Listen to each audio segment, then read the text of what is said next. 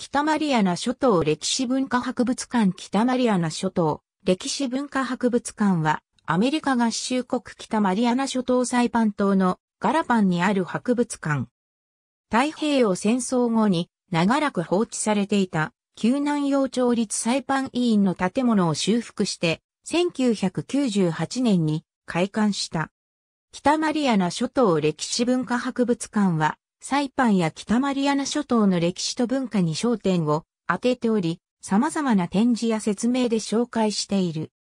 スペインのナンパ船、コンセプシオン号から引き上げられた金や、陶磁器などの積み荷や、日本統治時代の生活様式を知ることができる資料などが常設で展示されており、サイパンが日本統治下に入るまでの国際関係について、旧日本軍が制作した8ミリ映像が上映されている。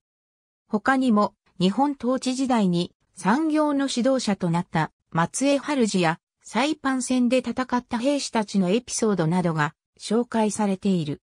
南洋町立サイパン委員時代の建物南洋町立サイパン委員は1922年に南洋町が設置した病院で南洋群島にはサイパン委員をはじめパラオ委員、アンガウル委員、ヤップ委員、トラック委員、ポナペ委員、ヤルート委員の7つの病院が設置された。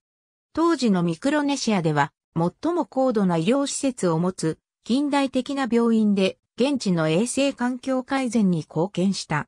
委員だった建物は、博物館が開設される前の1974年12月19日に、ジャパニーズホスピタルの名称で、国家歴史登録財に登録されている。ありがとうございます。